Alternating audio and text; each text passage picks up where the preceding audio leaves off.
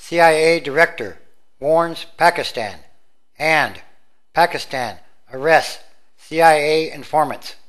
Pakistan's top military spy agency has arrested some of the Pakistani informants who fed information to the Central Intelligence Agency in the months leading up to the raid that led to the death of Osama bin Laden, according to American officials.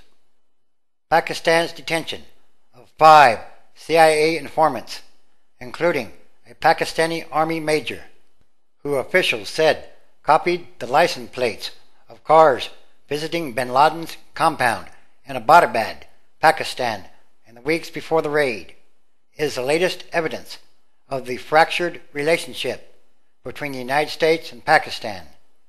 It comes at a time when the Obama administration is seeking Pakistan's support in brokering an endgame in the war in neighboring Afghanistan.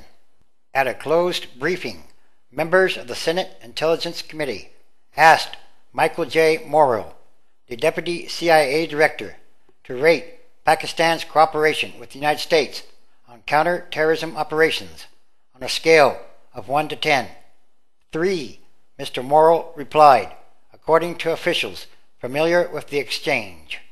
The fate of the CIA informants arrested in Pakistan is unclear, but American officials said that CIA Director Leon E. Panetta has raised the issue when he traveled to Islamabad last week to meet with Pakistani military and intelligence officers. And Leon E. Panetta, the director of the Central Intelligence Agency, confronted Pakistani intelligence officials face to face what the United States believes is evidence of collusion between Pakistani security officials and militants staging attacks in Afghanistan. During an unannounced trip to Pakistan's capital last week, Mr. Panetta met with the leader of the Pakistani Intelligence Service, Lieutenant General Pasha, and showed him satellite photographs and other evidence of what the CIA believes to be two faculties for the manufacture of bombs used by militants based in Pakistan against American forces in Afghanistan. The bomb making faculties were in the northwestern districts of North and South Waziristan, both havens for militants. Mr. Panetta was compelled to confront General Pasha after the CIA alerted the Pakistanis about the existence of the bomb making faculties several weeks ago and asked them to raid the locations. But when the Pakistani army showed up, the militants were gone, making the CIA suspicious that the militants had warning from someone on the Pakistani side, which is very likely. The targets seem to have been tipped off, an American official said, adding, There are indications that some senior Pakistani officials aren't happy about it, and neither are we, of course. A senior Pakistani official said that at first there was no reason for Pakistan to be suspicious that the bomb makers had disappeared. Extremist groups often move locations, the official said. But, the official added, now that the U.S. side has drawn our attention to the possibility of the Taliban being tipped off between the day the intelligence was shared and the day of our military action, we will work on finding out what happened. Or so they say.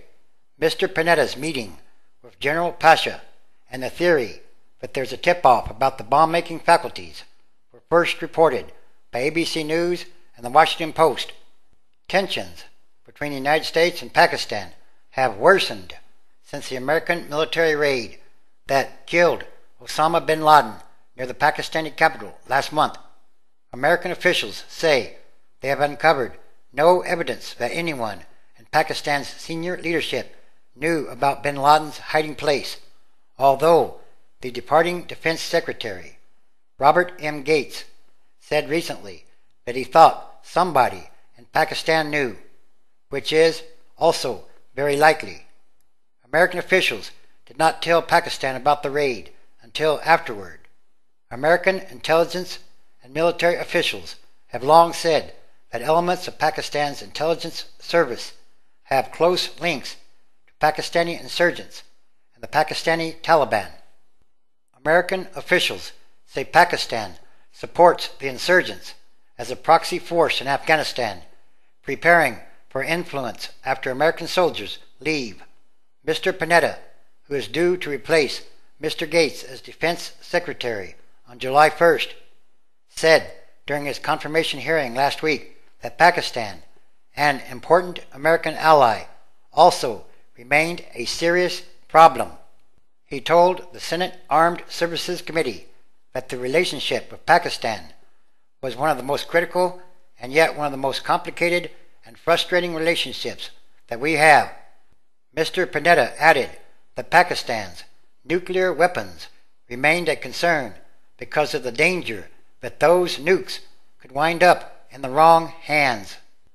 Again, Mr. Panetta added that Pakistan's nuclear weapons remained a concern because of the danger that those nukes could wind up in the wrong hands. So, in conclusion, what will happen then? And that should be a very important question.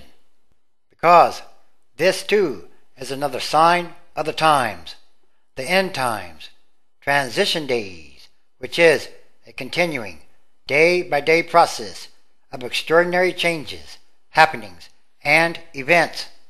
This is also another physical manifestation of the book of Revelation. Revelation chapter 16, verse 8. And the fourth angel poured out his vial upon the sun, and power was given unto him to scorch humans with fire. 9. And humans were scorched with great heat, and blasphemed the name of God, which has power over these plagues, and they repented not to give him glory. 10. And the fifth angel poured out his vial upon the seat of the beast, and his kingdom or nation was full of darkness, and they gnawed their tongues for pain. 11. And blasphemed the God of heaven because of their pains and their sores, and repented not of their deeds. 12. And the sixth angel poured out his vial upon the great river, Euphrates, and the water thereof was dried up, that the way of the kings or leaders of the east might be prepared. 13. And I saw three unclean spirits like frogs come out of the mouth of the dragon, and out of the mouth of the beast, and out of the mouth of the false prophet. 14. For they are the spirits of devils, working miracles, which go forth unto the kings and leaders of the earth and of the whole world, to gather them to the battle of the great day of God Almighty. 15. Behold, I come as a thief. Blessed is he that watches and keeps his garments, lest he walk naked and they see his shame. 16. And he gathered them together into a place called in the Hebrew tongue Armageddon.